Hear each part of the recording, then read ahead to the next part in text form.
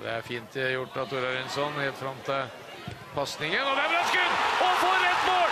Steinemann dunker ballen i mål! Har dere sett på maken? Det må være årets mål på Sarpsborg stadion! For et treff dansken får! Kliner han opp i vinkel! Skårer sitt andre for Sarpsborg siden overgangen i sommer! Og for en viktig skåring! Sekunder før pause! Steffen Ernemann får!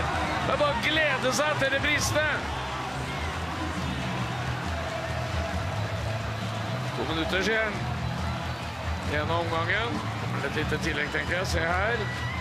Sokolowski sammen bryter, og så klinker han til. Det er jo fra, må jo være fra nesten 30 meter. 25 i hvert fall. Se den skruen der på den ballen. For en treff med venstre beinet. Helt utagbart for Resijevskij. Og sarpingene har snudd eh, kampen.